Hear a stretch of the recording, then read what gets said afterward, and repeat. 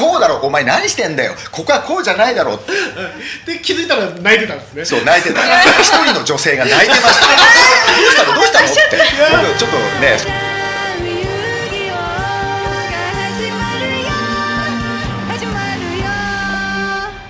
麻雀遊戯王。皆さんこんにちは麻雀遊戯王のお時間です。私麻雀大好きアシスタントの渚です。よろしくお願いします。そしてこんにちはイーピンくんです。そして漫画家の片山正幸です。よろしくお願いします,、よろしくお願いしさあということでですねなんと今日は漫画家の片山正幸先生に来ていただいております。よろしくお願いします。お願いします。よろしくお願いしますなんとですねもう麻雀遊戯王はもう YouTuber やプロ雀士の方でも飽き足らずついに漫画家さんにまで手を出すという暴挙に出まして早速麻雀漫画の第一人者の片山先生がゲストに来てくれました。すごいレジェンドな方ですよ。そうですよもうレジェンドですよね、なんで出てくれたんでしょう？あの暇だったんです。最近書いてないので暇だったんですったそれはそれでありがたいこのこのチャンスがあったっていうことですからね。そうですよ。はいありがとうございます。よろしくお願いいたします。よろしくお願いします。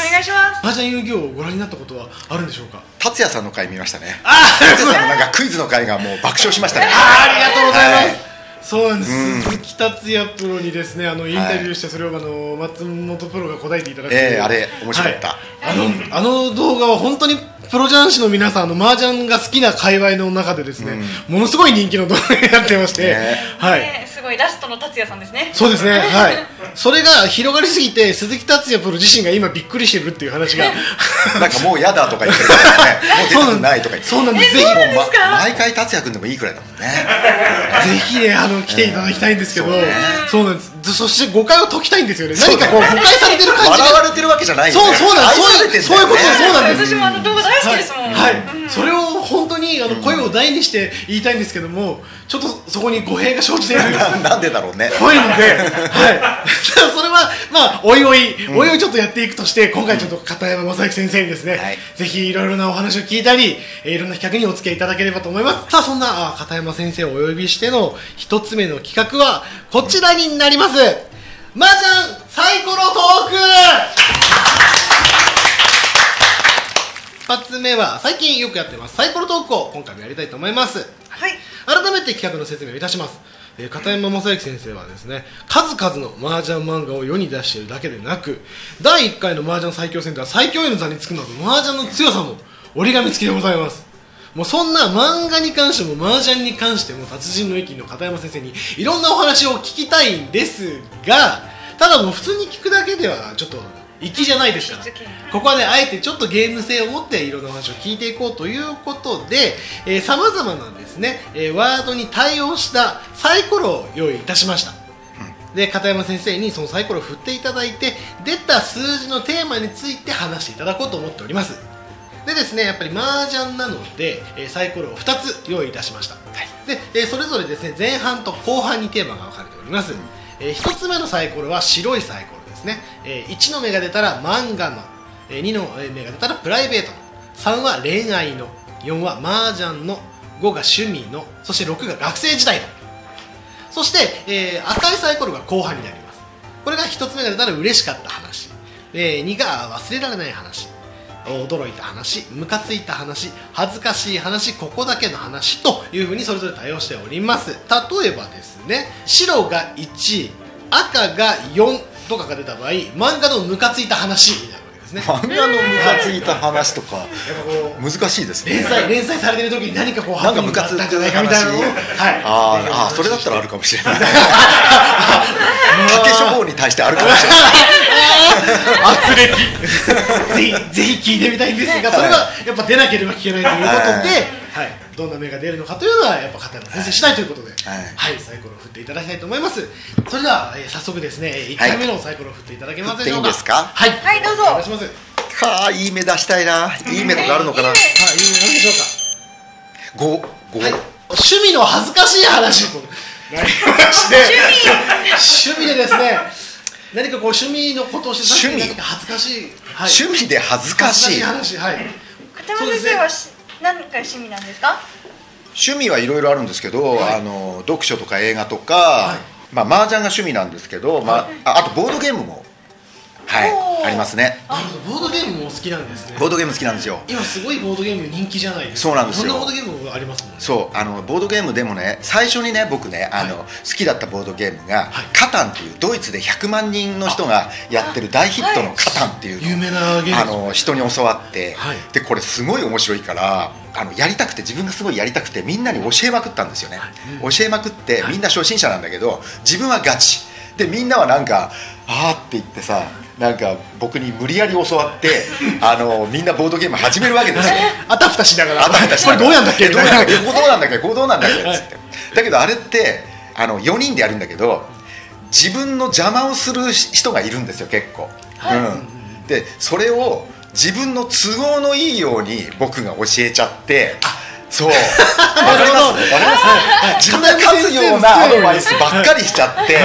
そして一人の子が泣いちゃったりして 俺はなんて心の狭い人間なんだって言ってしばらくボードゲームやめました。好きだったボードゲームから離れました。もう自分の心の狭さを反省して。それからはちょっとみんなにフェアな教え方をするようになりましたね確かにこうボードゲーム好きが高じてやっぱり自分が勝ちたいようになっちゃいますもんね。ガチになっちゃうんですよ。ね。で有利なことばっかり。そこはこうだろお前何してんだよ。ここはこうじゃないだろ で気づいたら泣いてたんですね。そう泣いてた。一人の女性が泣いてました。どうしたの？どうしたの？って僕ちょっとねそういうとこちょっとサイコパスだから。どうしたんだろうと思ったら。なんでゾクゾクしちゃったんですか？なんかひどいとか言われて 俺そんなにひどいこと言ってたんだと思って。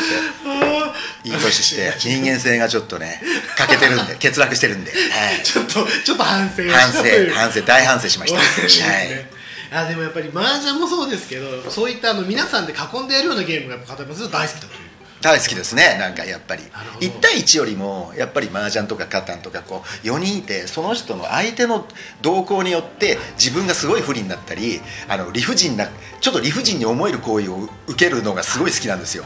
実はちょっと好きなんですよあれ。好きなんだけどイライラするじゃないですか。あそれをまた我慢するのが面白いんだよねゲームってねいいですね、ちょっとまたあの今回とはまた別で来ていただいて、麻雀遊戯王なんですけど、はい。片山先生と一緒にカタンとかスコットランドヤードとかいろいろやりたいですね、えーめちゃめちゃ文句言いますよ。怒りますよ。でもリピ君泣いちゃうかもしれない気づいたら E ピックは号泣してるかもしれません、はい E ピックはそういうボードゲーム本当に苦手なので本当にあのなんでしょう短絡的に動いて、はい、人狼とかをやった時に人狼ね。あれも、はい。あれも僕は自分が泣いたことありますねなんかね。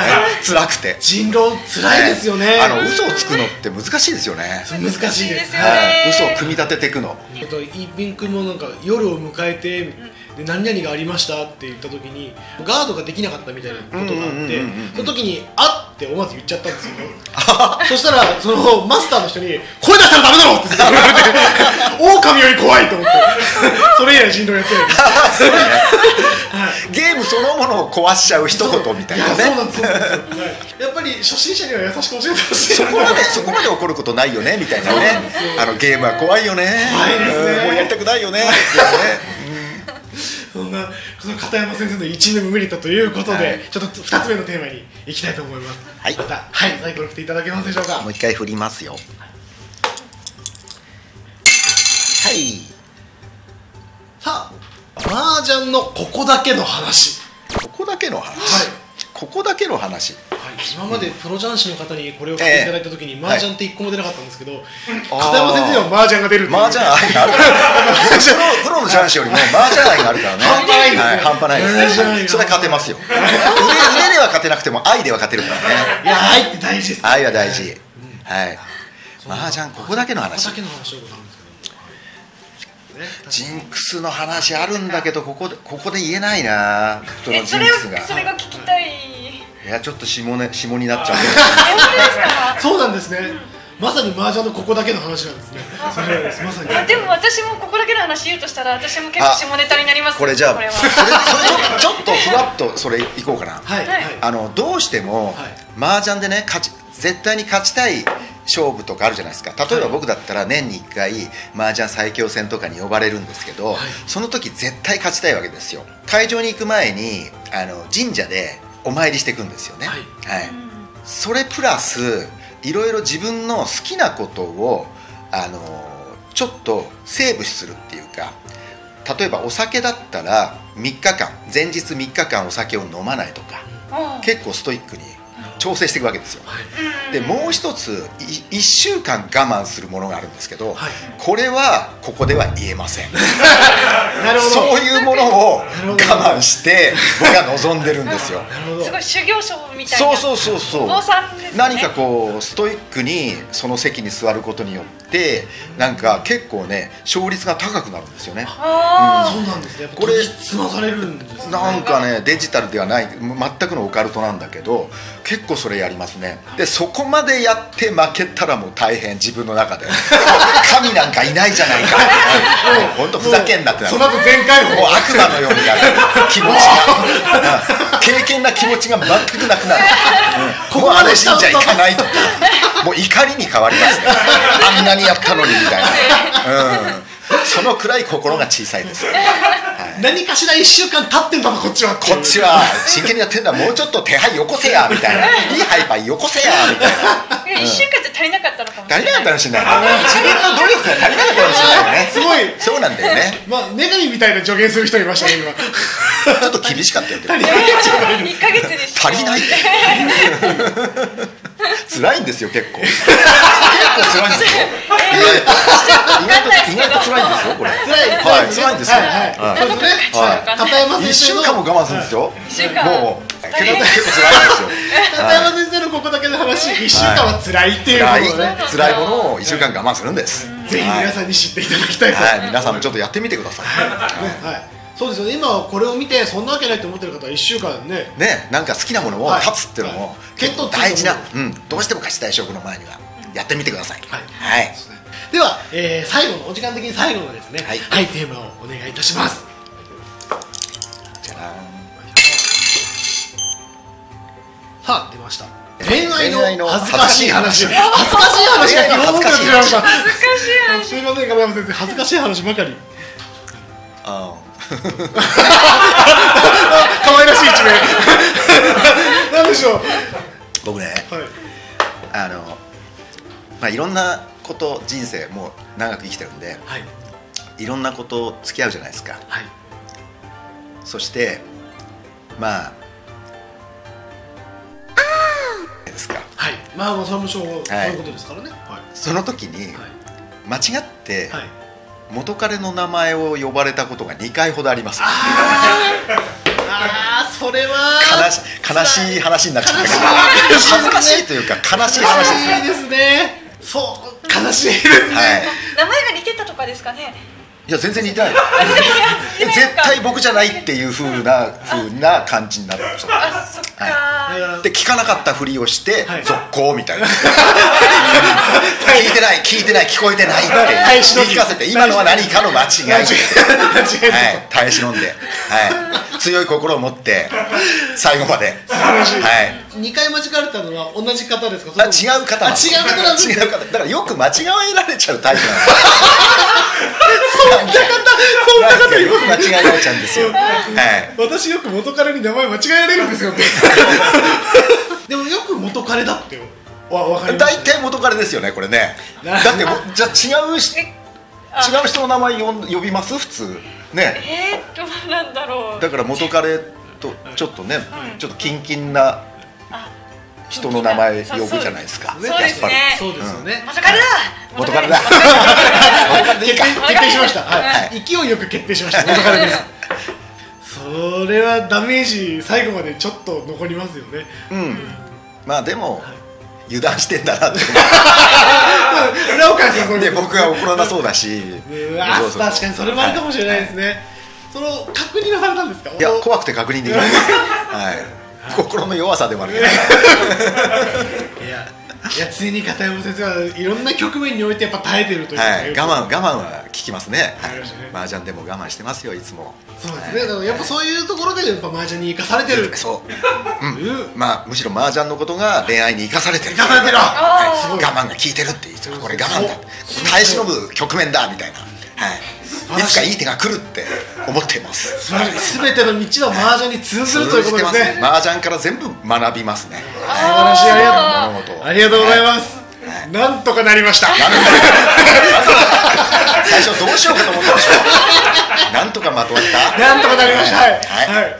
綺麗になんか一つにまとまった気がしますよかった。麻雀に通ずる、はい。い、やーしょっぱだからこんな面白い話をたくさんいただけると思わなかったです。ありがとうございますという感じでですね、えー、麻雀営業いろんな話をちょっとお聞きしていこうと思うんですけれどもあとまあ引き続きまた、えーあと7回ぐらいですねえー収録ありますがお付き合いいただければと思います。よろしくお願いいたします。お願いします。お願いします。いや渚さんも普段あまり聞けない話だからちょっと 面白かったです衝撃的そうですね。絶対聞けないよね、はい。まあ聞かないですね。聞かないです。聞きたくもないよね。いやそんなことはないんですけどない大丈夫だった。でもなんかちょっと思ったのは、うん。うん。あのやっぱり本業の漫画のっていうのが出なかったなっていう。そうですね。漫画の話不得意なんだよね。漫画はちょっと自信がないんで。聞きたかったなーってはい。はいちょっと漫画。は漫画はちょっと自信ないです本当に。い。や、はい大大丈夫です。漫画のお話はもしかしたら別の企画でご用意させていただいてるかもしれませんので、はい。あ、お話しいただければと思います、はい。ということで視聴者の皆さんも引き続きご期待ください。ということで今日はここまで。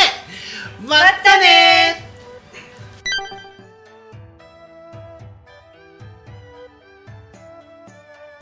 から同時進行の可能性の方が高いと思はいいます、そうですそうです。い、やー今カメラカメラマットンちゃうんだよー